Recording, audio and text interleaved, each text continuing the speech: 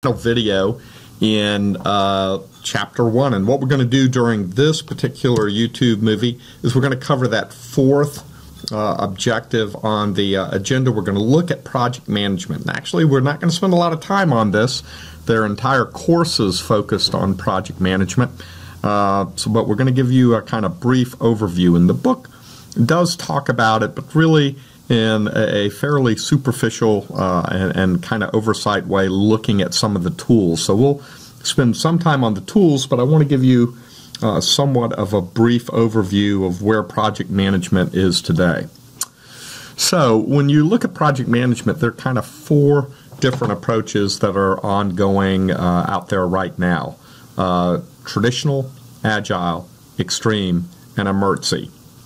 And uh, as you look at those, uh, it, you can really distinguish between the four based on do you have a clear understanding of the goal or do you have a clear understanding of the solution? So if you build a little matrix and map those across, then you're going to use traditional project management, which is covered in the book when you have a clear goal and a clear solution. And there are lots of different techniques for actually uh, deploying that two of which are, are listed there. Linear and incremental are examples of uh, traditional project management. Uh, agile is going to be where you've got a clear goal, but the solution is not clear. How you reach that goal is not clear. And so, in that particular case, uh, you're going to go through either iterative or adaptive approaches to truly determine uh, what the goal, uh, or I'm sorry, what the solution is uh, that will allow you to reach that goal. When you've got a clear solution, but you're not clear what the goal is, and that sounds uh, somewhat odd, uh, but it does occur. You uh, develop a drug, but you're not quite sure what that drug is going to solve, and or you develop a technology, but you're not quite sure how that technology could be used. That's an example of an extreme uh, uh, uh, project. And then finally, emertxe, which is actually the word extreme spelled backwards, is an example of where you have a not clear goal and a not clear solution. As you might imagine, emertxe and extreme have ex- uh, high risk, agile, less risk, and traditional, the least amount of risk because you know more. In a traditional project, you have a clear goal and a clear solution, so it's a fairly straightforward approach. Agile, you've got a clear goal but no clear solution, and thus there's more risk. And then again, for extreme and emertxe, uh, much more risk associated with these uh, particular types of projects. When you look at project distribution, traditional projects are about 20% of the projects that are out there. Agile is around 70%. Extreme and emertxe are each about 5%. So most of the projects out there are agile. You do need to be careful in that most of the consulting companies want to sell you traditional project management, as that's the one that uh, has the least amount of risk to them.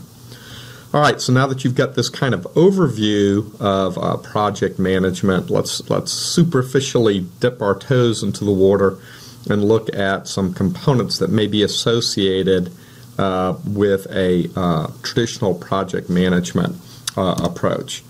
So, as you're looking through that kind of uh, uh, program lifecycle or project lifecycle, uh, you've got different stages or steps that you have to go through, starting with, you know, what are the requirements, moving into the concept development, system design, development and testing, deployment, and then uh, operation.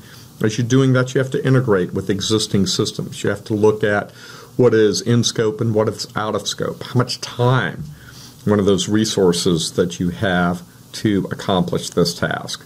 Uh, what's the uh, how much money do you have? At what quality level do you want to deploy a particular system? Uh, how many people are associated with this? How are you going to communicate this throughout the organization and get people on board?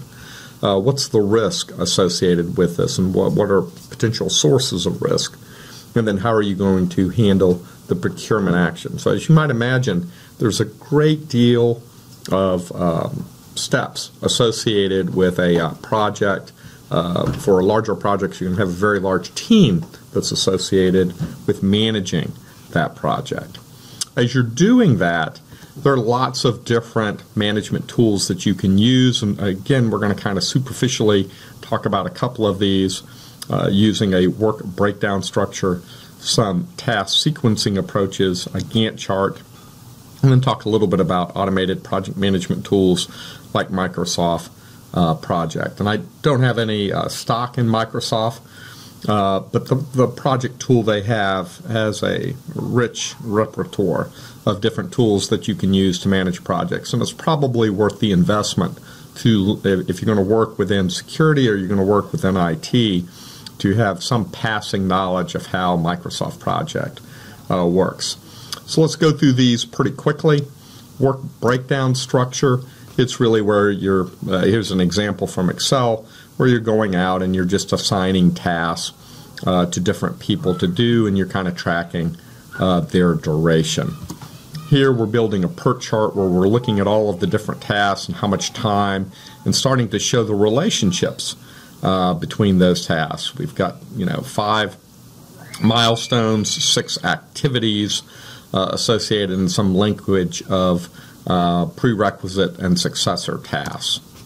Here's PERT chart, and in this case, we're starting to identify what's our longest path, what's that critical path indicated in red, what's going to take the longest amount of time. So as we go to optimize a project, we want to start optimizing on that critical path uh, initially rather than uh, optimize on something that is not on the critical path. It shortens the entire project. And then finally, here's a Gantt chart that kind of pulls it all together. Uh, and uh, again, my expectation is that you can't read the Gantt chart at this point, but that you get some sense of uh, this idea of scheduling. And when you have hundreds of people or hundreds of millions of dollars involved with a project, obviously you're going to spend a good bit of time tracking these types of things to make sure that you stay on track and that you uh, complete a successful project. Well, like I said, this is very much a superficial uh, covering of project management uh, as it relates to what's in the book. There are entire courses on this topic. In fact, I teach a course on this topic, and uh, uh much, much more detail. But this is the computer security course, not a project management course.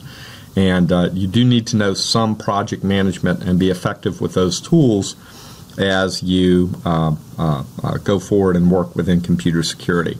All right, well, enough of chapter one. Look at that. We've gone through, talked about the McCumber Cube, the CNSS model. We've talked about uh, management and leadership, and we've talked a little bit about project management. So, uh, next lesson, we're going to start talking about planning uh, for security, get into mission, vision, and value statements, and uh, organizational structures, and a couple of other things. So keep on studying, keep on learning, and I look forward to seeing you in the next YouTube video.